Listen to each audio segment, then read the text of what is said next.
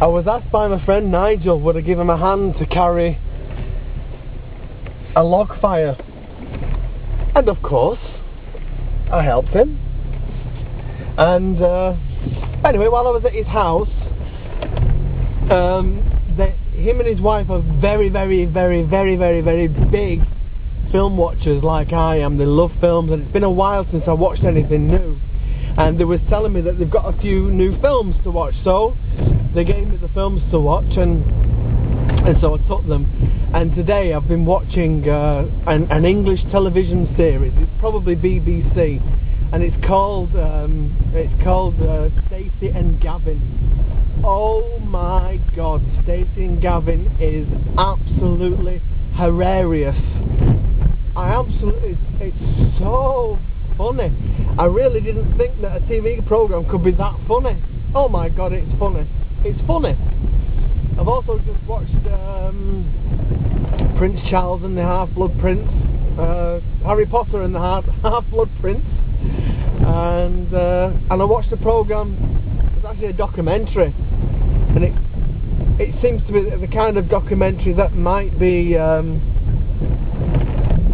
again BBC, but it's called Six Degrees. So if uh, if the Earth warms up one degree, then this will happen to, devastating to the Earth, and if it warms up two degrees, blah blah.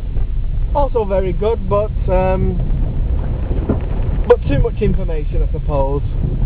Anyway, um, so that's what I've been doing. God. I've been given the first three episodes of True Blood. True Blood!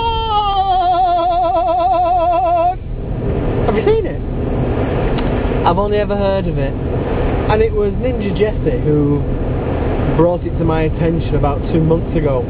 But I went to see my friend Sally Nigel yesterday and she's been doing something on the internet and computer and and she's recorded three and put onto a DVD disc so I can watch it. Because for some reason, my laptop won't play data discs.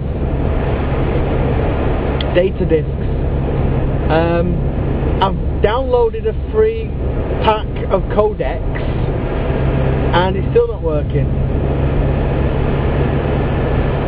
Anyway, uh, it's on DVD, and I've been watching. I've watched the first three series, and it should be about another two days, and she will have done another three for me to watch and there's a program called The Wire.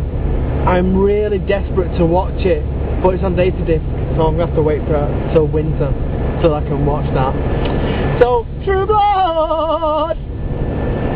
Lots of sex in it, and I'm talking lots and lots of practice. Even the vampires are having sex. I love it. I love sex. I, I love uh, True Blood.